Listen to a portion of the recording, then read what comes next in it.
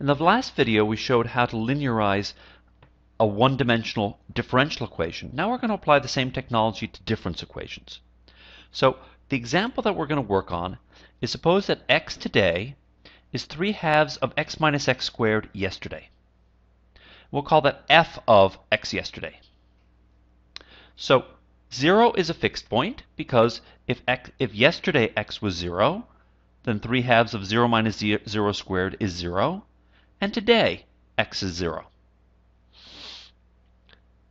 So, but one third is also a fixed point because if yesterday x was one third, one third minus one third squared is two ninths multiplied by three halves gives you three ninths, which is one third. So if yesterday x was a third, then today x is a third. And tomorrow x will be a third. And the next day x will be a third. So there are actually two fixed points the fixed points are not solutions to f of x equals 0, the solutions to f of x equals x. Because if f if if you have f of a equals a, for example, if x is a yesterday, then x will be a today and from now on. So we solve this equation, f of x equals x, 3 halves x minus 3 halves x squared equals x. Do a little bit of algebra, and we discover that x is either 0 or 1 third. So this system of equations has two fixed points, 0 and 1 third. So we want to figure out what happens if you start near 0 or what happens if you start near 1 third. If you start near 0, well, let's see. We have x today is 3 halves of x yesterday minus 3 halves of x yesterday squared. And if x is very, very, very, very small, then x squared is especially small. And we have that x today is approximately 3 halves of x yesterday.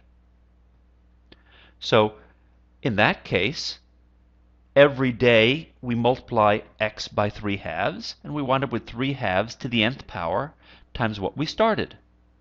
And it keeps growing like 3 halves to the n until eventually x is big enough that the quadratic term can no longer be ignored. We call this unstable because 3 halves is bigger than 1. When 3 halves is bigger than 1, powers of 3 halves grow, and we're running away from 0. We're not running towards 0. If we want to linearize near x equals a third, what we do is we look at the difference between x and a third. We let y be x minus a third, and we say, hmm, what is y today? Well, y today is x today minus a third. So that's f of x yesterday minus a third. And then we do a Taylor's expansion of f of x yesterday. Since f since yesterday x was close to a third, this is about f of one third plus f prime of a third times x minus a third plus higher order terms.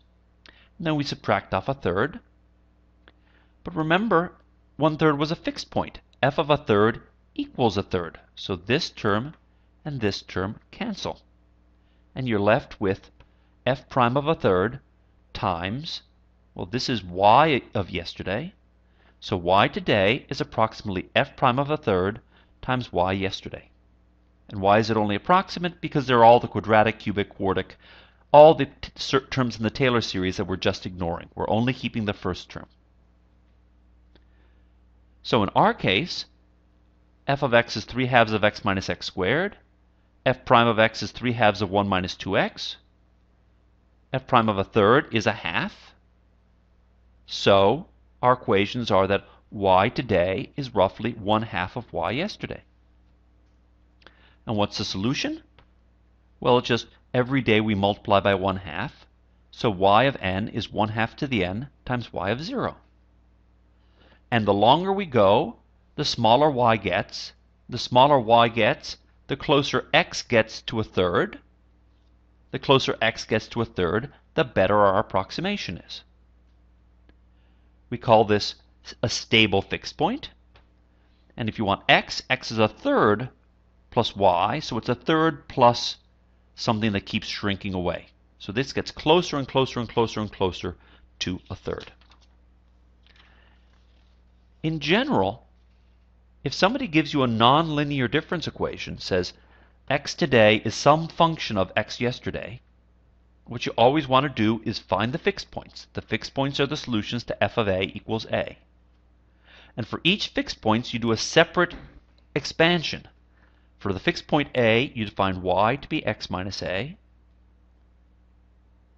and you look at the equations in terms of y. And y today is going to be roughly f prime of a times y yesterday.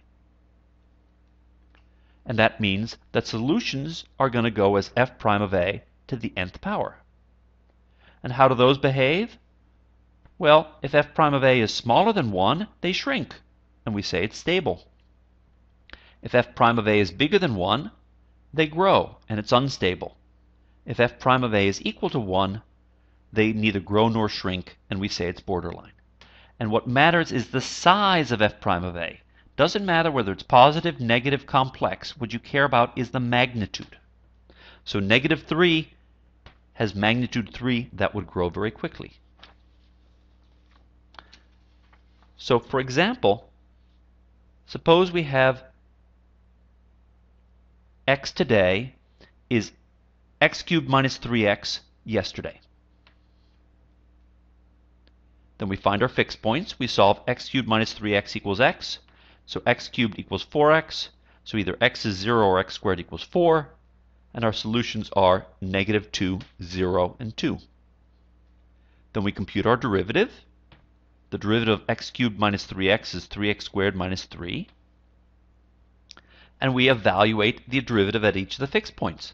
The fixed point negative 2, we get 9. At 0, we get negative 3. At 2, we get 9. So if you start off near x equals negative 2, then y, which is x minus negative 2, grows like 9 to the n.